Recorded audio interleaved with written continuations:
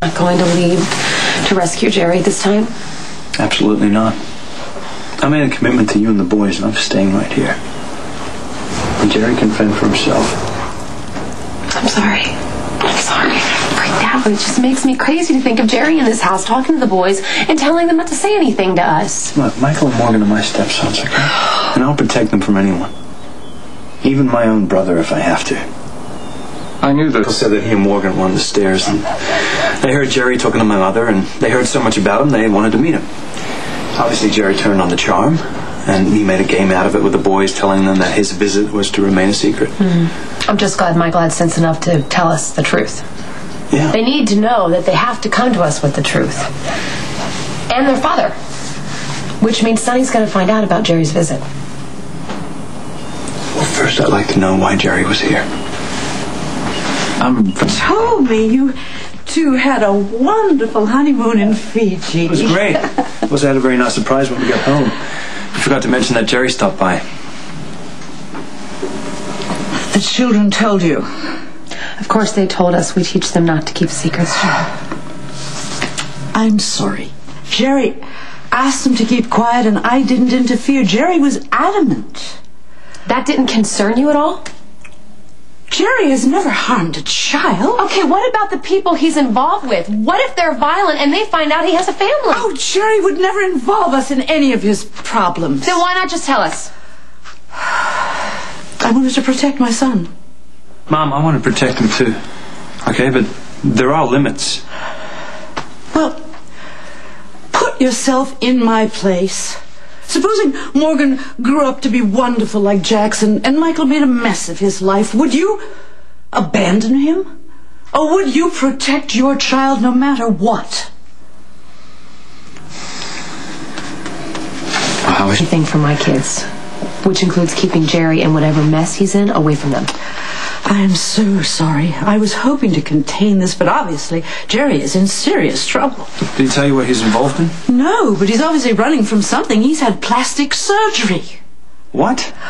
He, changed his face? His whole face is different, only his eyes are the same. You might very well have run into him in Siberia and not even realized it was your own brother. Well, how did he contact you? I saw him at the terrace on your wedding. Oh, I, I knew it. I was on the phone with Jerry out on the terrace. And I heard the music change in the background on his phone. So I hung up, I called out to him, and. Well, that's when you walked out. Well, I caught a glimpse of him as you and Connie were leaving. I chased after him. Oh, he tried to pretend he was some stranger, but a mother knows. Why did he come to the house? Well, he claimed he was leaving town and he wanted to say goodbye, and he also asked me if I would do something for him, something about transferring funds, but he changed his mind. Well, Jerry might still be in town. I want you to call him and set up a meeting. For all Jerry's faults, he, he only wanted to protect you. He specifically asked me not to tell you that I'd seen him. Well, it's too late. I know. I can't ignore that my brother's in town. He came to see you get married, Jax. That might not be the only reason Jerry's in Port Charles. He did not want to let you see him at the wedding because he didn't want to involve you in his latest troubles. No. There is no reason for you to go chasing after Jerry. There's just no You know what? reason. You need to trust me on this.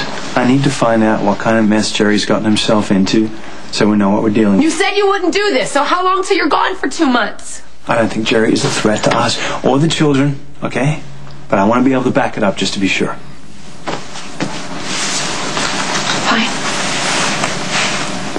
Go ahead and make the call. This goes against my better instincts, Jax. Mom, we have to get to the bottom of this.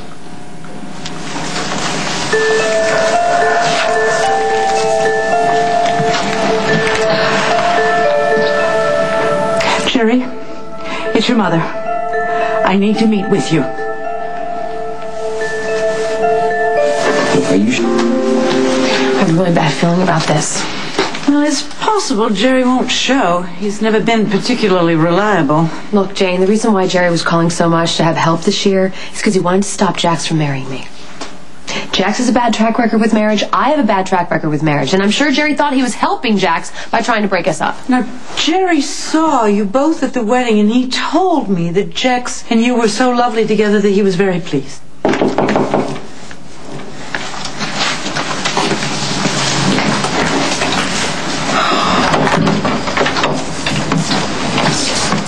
What do you want? Well, it pains me as well, Carly, but it's police business. I'm gathering information about the hostage crisis. I really need to deal with this, Jane. I'm sorry. All right, no, no, no. I'll just head on back to the hotel. Please call me in five minutes. I'll call you as soon as I arrive. We have a picture of James Craig. We need as many of the hostages to ID him as possible. Yeah, that's him. And I hope the bastard rots in hell.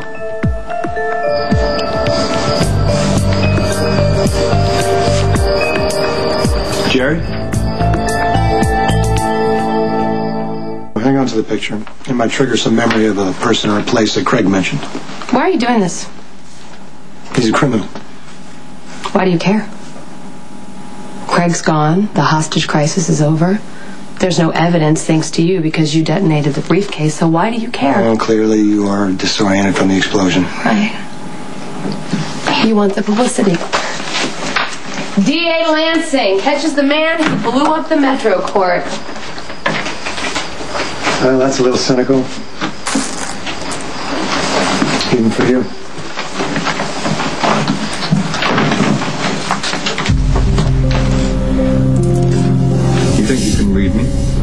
Perhaps you can. We're not so different.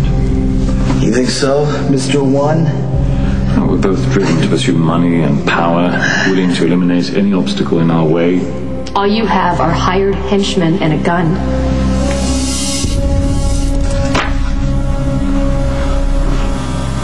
What are you doing? That was a new shirt. Come here. Let's take a look at you. Ever get the paint on the paper? What is this, sweetie? Jerry. I know that you were expecting our mother. Don't let me chase you, Jerry. What makes you think you can catch me? Wow. What the hell have you done to your face? Well, you know, the old one was becoming a liability, so I opted for a new look. I rather like it, don't you? It's not funny. What did you do this time? Believe me, brother, you don't want to know. Why don't you just go ahead and tell me? Because sooner or later you're going to ask for my help, so why don't you just get it out of the way? No, no, no. You settled into a new life. You have a new wife. You stepkids. I wouldn't dream of interrupting your matrimonial bliss. Enjoy your family. I can take care of myself. Thank you. Oh. Okay, sure. Stop lying to me and tell me what the hell you've done. I want to keep. On the next General Hospital, I'm busy. I'll happily leave as soon as I get what I came for. Let's just another Jerry. You can't rescue me. You're my brother. Not anymore. Please don't hate me. I could never hate you.